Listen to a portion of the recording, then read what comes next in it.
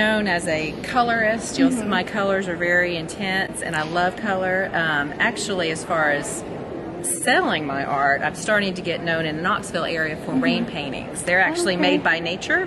Cool. I it was uh, I am very uh, the process of creating. I'm good at I'm really good at that and experimenting with techniques, different Yeah. techniques. So um, that was an experiment for me, and I thought you know we were doing the spraying. Uh, And I thought, well, I'm going to try rain. So I put wet paint on the paper and then I put it uh, out in the rain and I watch it like baking. Literally a time where you watch the design emerge, depending on how fast and hard the rain is coming down.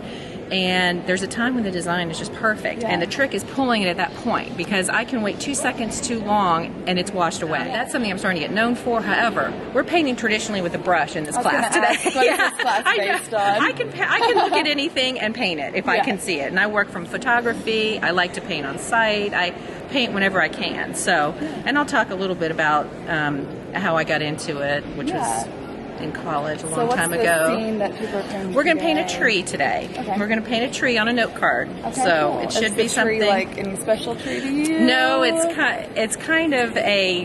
This is going to be a little bit of ab.